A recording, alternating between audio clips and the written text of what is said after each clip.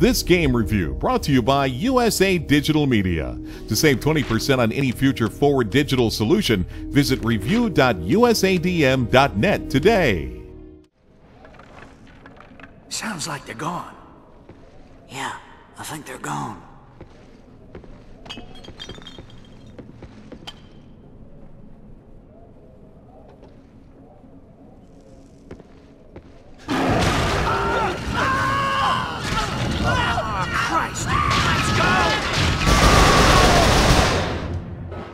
Howdy y'all, Sergeant Pope here. This time I'm reviewing Resistance 3. Does Insomniac really push the series to the next level, or does this one fail hardcore? Follow me and we'll find out. I'm sure you guys know the deal though. You gotta check out our sponsors first. Those motherfuckers really shizzle our nizzle, so shimmy shing dong ding to those cats. Now let's hit this bitch! Make me a sandwich. Before I jump on onto this review, in this video we'll be giving away a free month of gameplay, courtesy of USA Digital Media. The way you enter is to comment with the code you'll hear at the end of this review. Babies! Let's talk about the general things about Resistance 3 bees. the game modes in this game are campaign, co-op, and then multiplayer. Those are pretty straightforward game modes, so I won't go into uh, describing them, uh, so yeah. The storyline is decent in this edition of Resistance, but it's really not anything you'll be incredibly impressed over either. It's definitely a math moment whenever you're playing through it. Some other things in this game does have PS Move capabilities, along with 3D. That's pretty crazy, and those are definitely uh, terrific extras to have. And is this an orgasm? What the hell? I got it! I got the power core! Yeah! Ah. Okay, uh, now let's talk about the pros. This game has quite a few little pros, including good controls, decent graphics, nothing you'll be blown away by graphics, but decent, and then occasional hints in the campaign that really help you out, because some parts of this campaign are just vague as shit. Some bigger things, uh, this game does have uh, really great variety in the campaign missions. The storyline really didn't impress me at all, but the actual gameplay was slightly addicting to myself, and I actually found it pretty fun. And now here's a big pro, but only to select people. If you have PS Move, this game works like a fucking dream with it. The accuracy is perfect, and the calibration system is fucking simple, and better yet, it's extremely effective. Works like a goddamn boss. If you don't Move, you're fucking missing out with Resistance 3, motherfucker. Oh. Shifting along, let's talk about the cones now. Right from the get-go, this game has massive updates and installations. That's a real cockblock right when you were getting ready to game. Fucking bullshit. Also, the overall quality of this game just isn't as impressive as I wanted. A first-party developer should be better than this. It's not bad, don't get me wrong, don't get me wrong. But it's really not that good either, and this first-party developers really should be amazing. Come the fuck on, man. Ooh, now we're getting my real rant.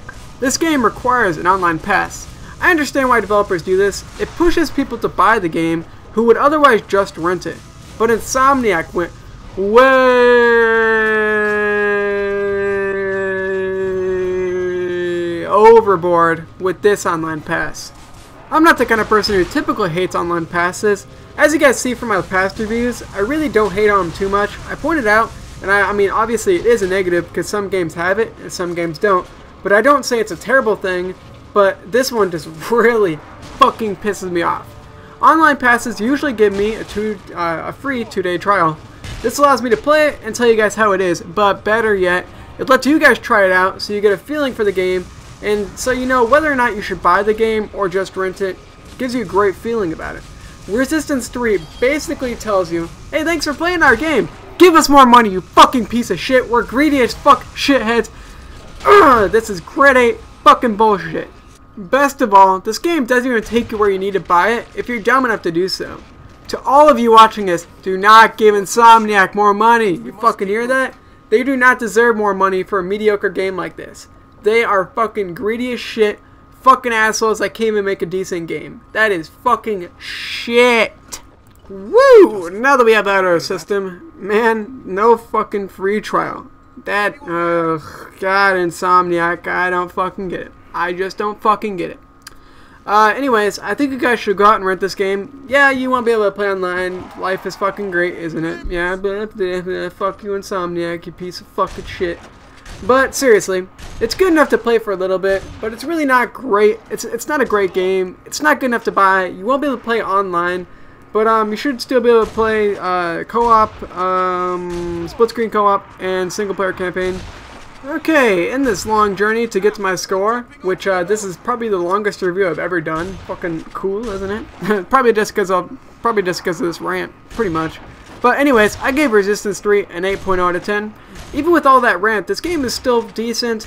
I'm just raging so much over this because it's a first-party developer, and they really should make better content than this. This is a PlayStation 3 exclusive. PlayStation does not need exclusives that are this quality. It's just not good enough quality. I mean, it's not going to bring any more people to PlayStation. I mean, people are going to go like, oh, you got Resistance? Wow, cool. Xbox even has better shit than this. Awesome. Wow, cool. Transitioning from that epic of a fucking laugh, girly thing, whatever.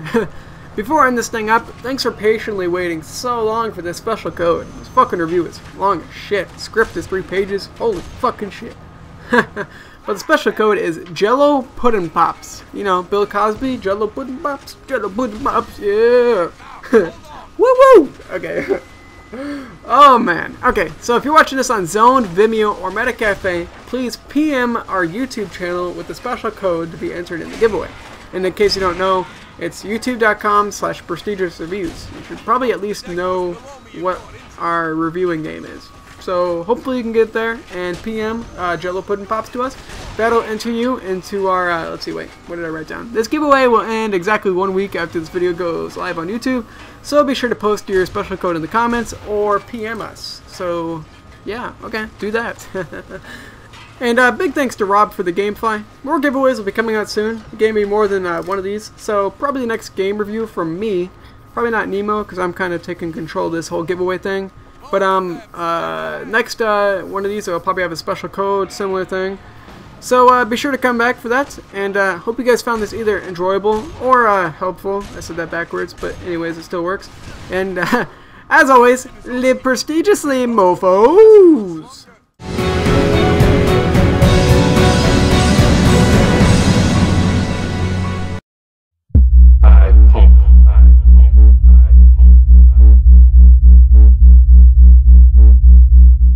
About the general things about this Resistance 3, about Resistance, The storyline is decent in this edition of Resistance, but it's really not nothing, uh, not nothing. Oh shit, son of a fucking bitch! Make this out! God damn it, son of a fucking dream! The, the, uh, the, slip a hoe, slip a hoe, slip a hoe, yeah, yeah, yeah. A hoe, yeah. I understand why developers do this. It pushes people to buy it who would otherwise just rent it. But Insomniac went way plural, you stupid piece of shit.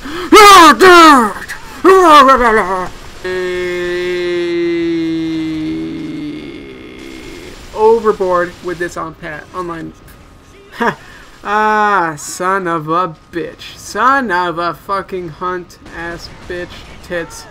Fuck ass. I said ass already. Shit. Fuck. Ah. I talk in tongue because I'm a fucking idiot. Yeah. Not good enough to buy it. I mean, you're not gonna be able to. You're not gonna be able to.